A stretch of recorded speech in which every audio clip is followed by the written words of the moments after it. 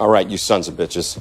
Excuse me? Excuse yourself, asshole. Because you just had the B team. Now you get the A team. You're gonna sue us? You don't sue us. We sue you. I'm gonna have your balls in a vice so tight, you're gonna wish you were born without balls. That's right, lady, I'm talking to you. I'm gonna shove this lawsuit so far up your ass, you're gonna be the first lawyer in history to die with a lawsuit in her ass. I'm gonna burn you to the ground. I'm gonna do a rain dance on your ashes. Nobody messes with Louis Litt, least of all two slobs from the firm Shitty and Shithead. We're not lawyers. What happened?